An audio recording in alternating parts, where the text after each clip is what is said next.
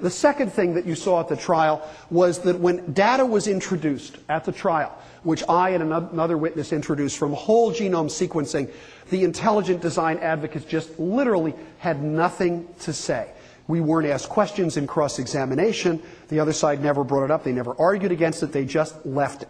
Here's an example. Um, many of you may know that a few months ago, the genetic code of the chimpanzee was published. Therefore, we can compare our genome to these primate relatives. What do we find? I want to show you one striking finding that dates to about a year ago.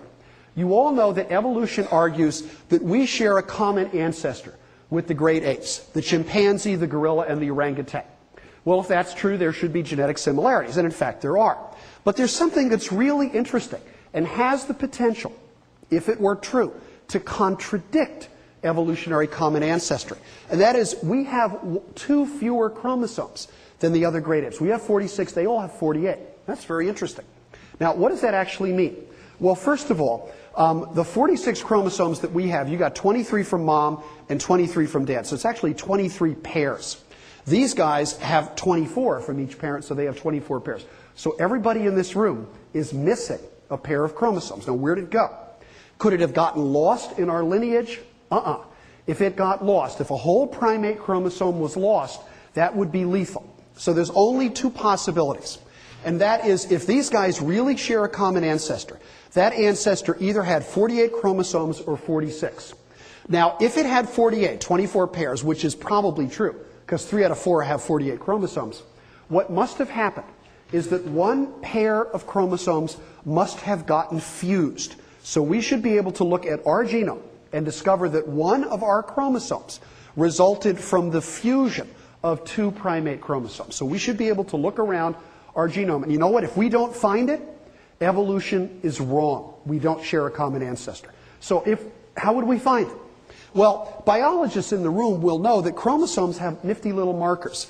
They have markers called centromeres, which are DNA sequences that are used to separate them during mitosis, and they have cool little DNA sequences on the end called telomeres. What would happen if a pair of chromosomes got fused? Well, what would happen is the fusion would put telomeres where they don't belong in the center of the chromosome, and the resulting fused chromosome should actually have two centromeres. One of them might become inactivated, but nonetheless, it should still be there. So we can scan our genome, and you know what? If we don't find that chromosome, evolution's in trouble. Well, guess what? It's chromosome number two. Our chromosome number two was formed by the fusion of two primate chromosomes.